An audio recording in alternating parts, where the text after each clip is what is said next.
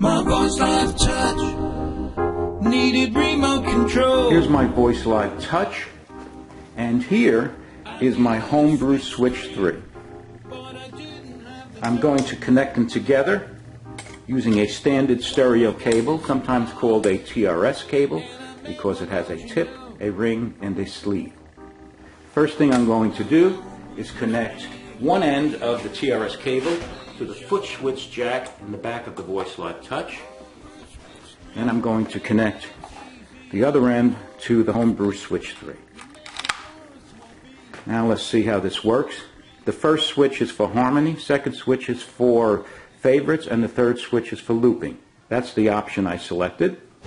So let's see how it works. Let's watch the harmony. So when we press the first switch, harmony goes on and off. Notice we're at favorite 5, so when we press the second switch, we loop over to favorite 1. And finally, when we press the third switch, play comes on, then record, then they all go off.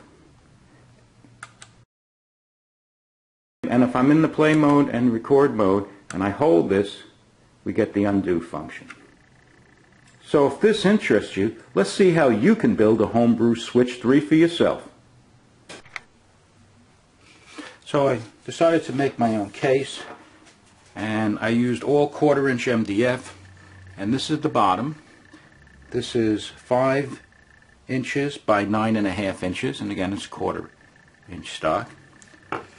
Then I cut a side piece out, and what I did was I took a 2 inch by 5 inch piece and I cut it at a 10 degree angle like that. And I'm keeping this piece that'll help us in the glue up before, and then I'll, I'll throw it away. Here's the other end and you notice there's a 3 8 inch hole here and on the back the hole is countersunk and the reason I did that was so that I could take the stereo jack, put it through, and then it'll stick out the other end and I can screw it on. Now, I have the back and the front. The back is half inch stock and it's two inches high and nine inches long. I just happen to have some half inch, but if you don't, you can do what I did on the smaller piece and take two quarter inch pieces and glue them together. And this is about one and an eighth high, and again, this is cut at a 10 degree angle, nine inches long, as is this one, it's cut at a 10 degree angle. Okay, and finally, we have the top. The top's a little larger than the bottom. It's five and an eighth by nine and a half, and you'll notice that the two angles, I have two 10 degree angles cut on this one. Now we're going to start the assembly process by doing the glue up and I'm going to paste some glue here like that. Spread it out. And put this on here. In order for this to set I'm going to have to clamp it. The clamp is flat. And this is at an angle. So we take that piece that we had and we put it here like this. We line everything up and then we use the clamp.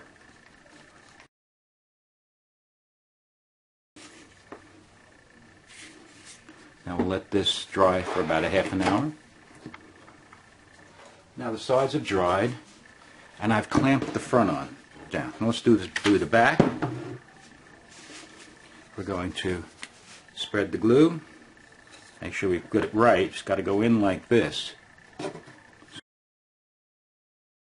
And put it in.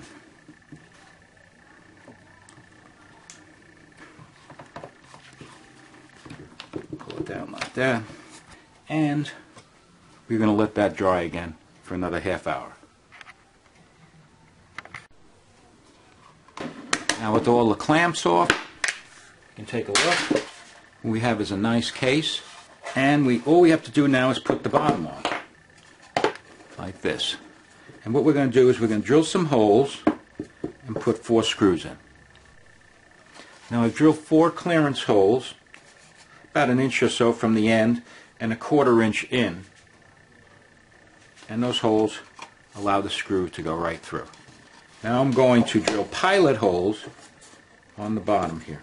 I'm going to line this up and just drill four pilot holes.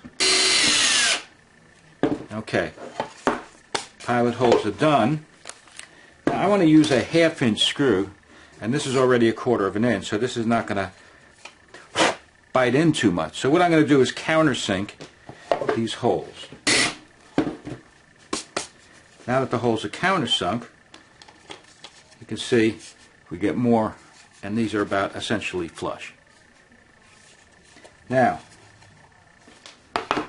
I'm going to pre-screw in the screws because with MDF, if you don't do that, the MDF will split. So I'm going to clamp this so that it doesn't spread.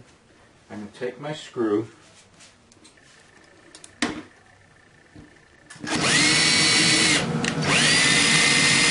There we go. So now I'm ready to screw the bottom in. Here we go.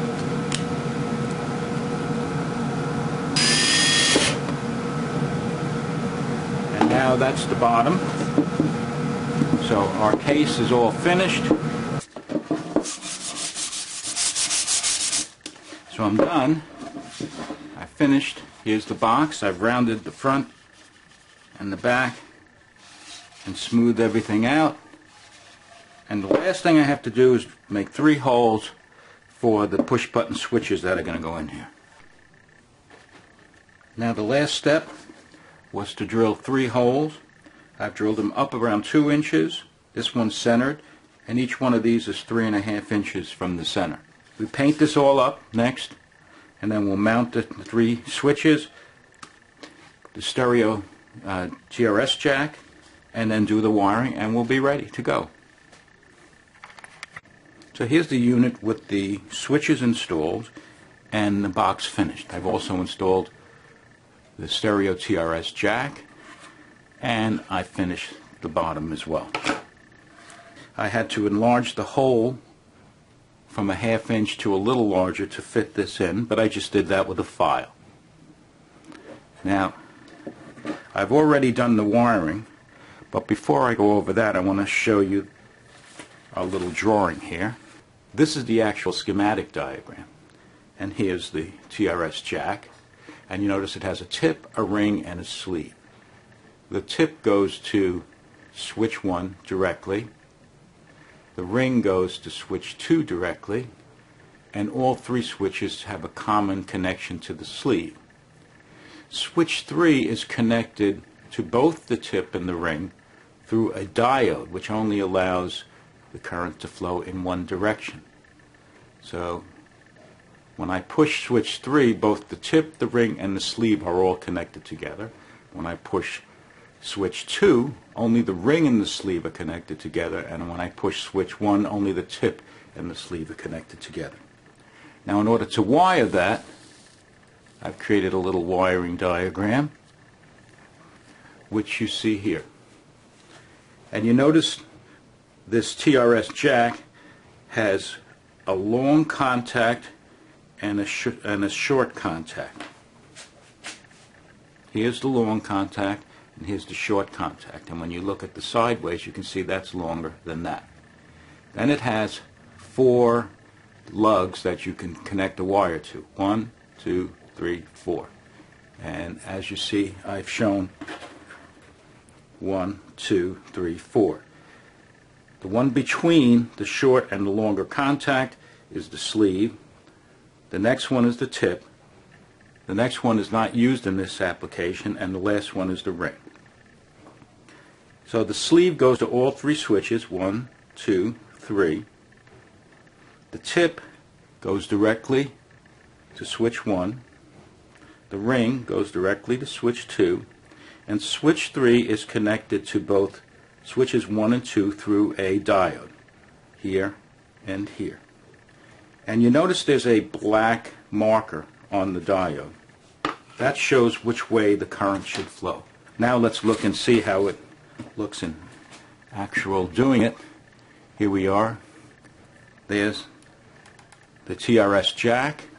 We have a wire coming from the sleeve going to the three switches.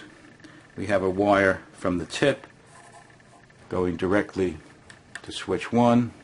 We have a wire from the ring going directly to switch 2. And then we have the diode with its marker there connected by a wire to switch 3 and we have a diode with its marker there also connected by a wire to switch 3 and that is it. That's the totality of what you would get effectively in the TC Helicon S3 switch Voicelive Touch needed remote control. I needed a switch three, but I didn't have the dough. So I got me some parts, and I made one, don't you know? Now my homebrew switch three is with me whenever I play a show. Switch 3, making it easy. Homebrew Switch 3, you make it for a small fee. Homebrew Switch 3. Homebrew Switch 3.